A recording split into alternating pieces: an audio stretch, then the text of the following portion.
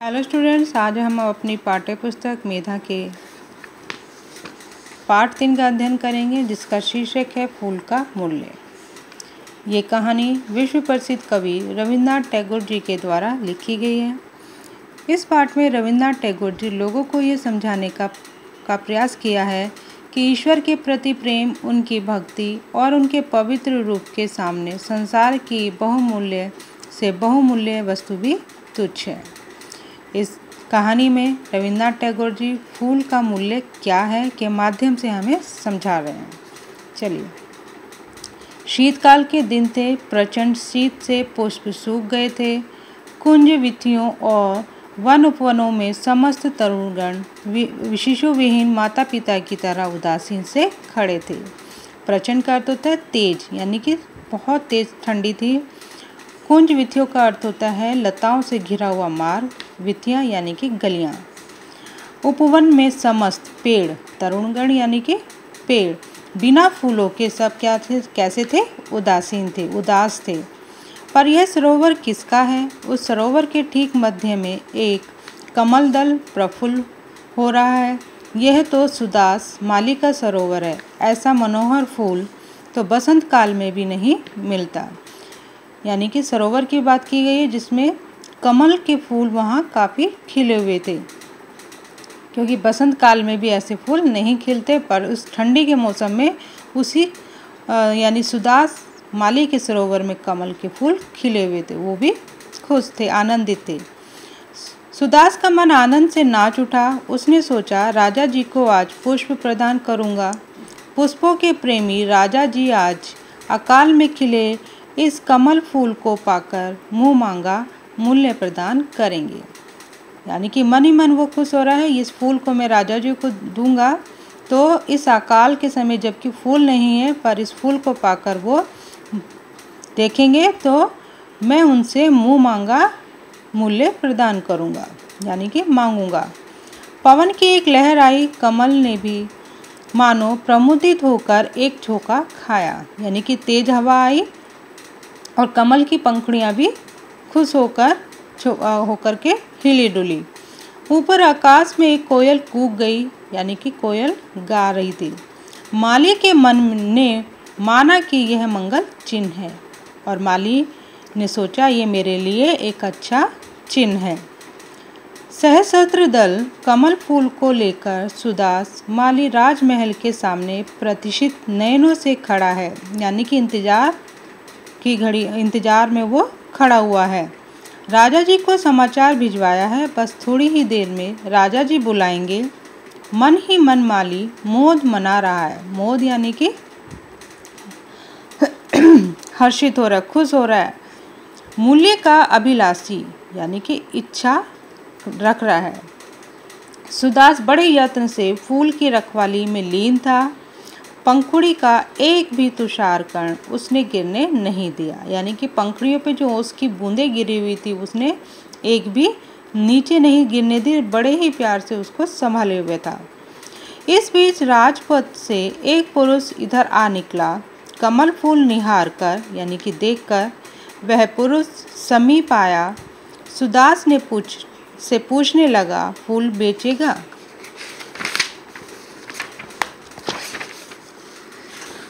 राजा जी के चरणों में प्रस्तुत करना चाहता हूँ। सुदास ने संक्षिप्त सा उत्तर दिया। मुझे तो यह फूल राजाओं के भी राजा जी के चरणों में चढ़ाना है। भगवान तथागत पधारे हैं। बोलो, क्या दाम लोगे? वह बोला, मैं आज एक मासा स्वर्ण की आशा लेकर निकला हूँ। यानी कि जो सज्जन व्यक्ति था, उसने उस फूल को खरीदना चाहा और उसने कहा, ये फूल मैं राजा के राजाओं, यानी कि हमारे जो हमसे भी ऊपर राजा हैं और उनसे भी ऊपर हमारे परमेश्वर, यानी भगवान, वो उस फूल को उनके चरणों में चढ़ाना चाहता था। इसके लिए वो उसका दाम पूछ रहे हैं कि तुम, मैं इसका दाम दूँगा, बताओ क्या लेना है? तो यहाँ माली सुदास एक मासा स्वर्ण की आशा निकाल लेकर कहता है कि मैं निकला हूँ, यानी कि मासा का अर्थ होता है एक तोले का बारवा भाग, कि वो सोच के निकला है। मुझे स्वीकार है।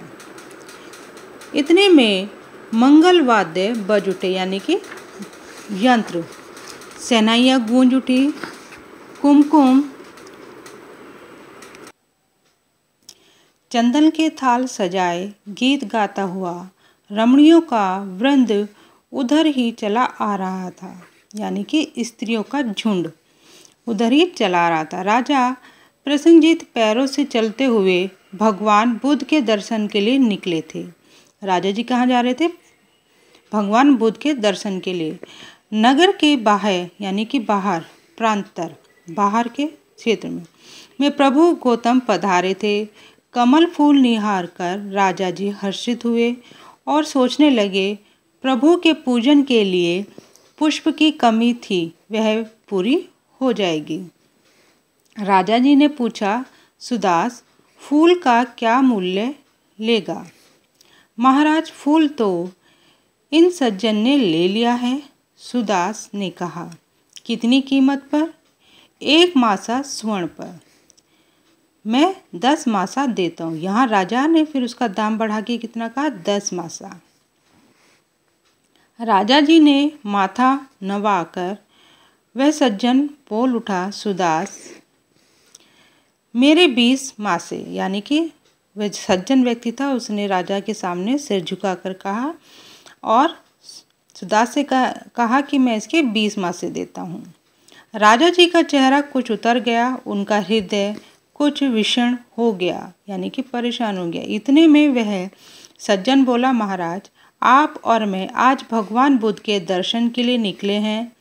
इस पुष्प के लिए आज आप और मैं राजा प्रजा के रूप में नहीं खड़े हैं, बल्कि दो भक्तों के रूप में उपस्थित हैं।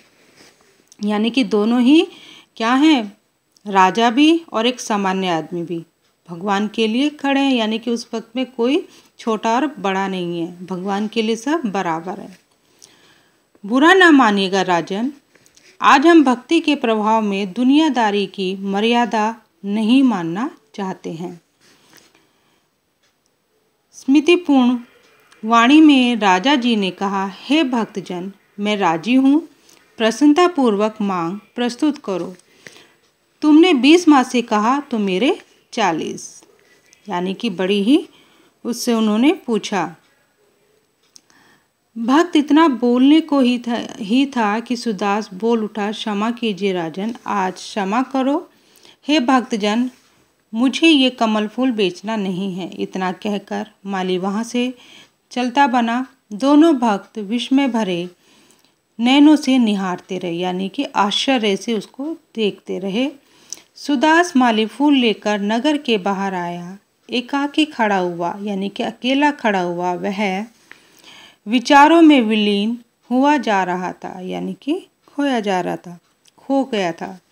जिस भगवान बुद्ध के लिए ये भक्त लोग इतना द्रव्य खर्च करने को तैयार हैं, वह पुरुष स्वयं कितना धनवान होगा, कितना महा मना होगा, उसके चरणों में यह पुष्प अर्पित कर दूँ तो मुझे ना जाने कितना द्रव्य मिलेगा।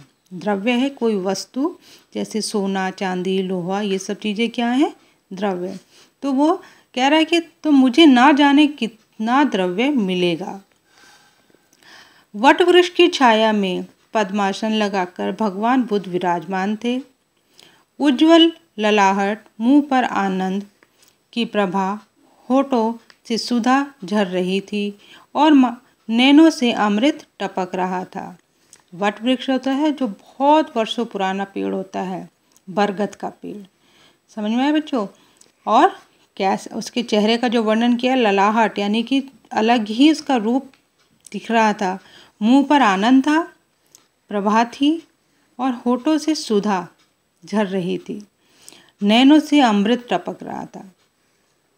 मेघों सी धीर गंभीर ध्वनि इस तपस्वी के मुँह से निकल रही थी सुधा स्तब्ध होकर खड़ा रहा, यानी कि शांत खड़ा रहा चुपचाप। उसके मुँह से एक शब्द भी नहीं निकला। वह तो निहार रहा था, यानी कि केवल सिर्फ़ और सिर्फ़ देखे जा रहा था।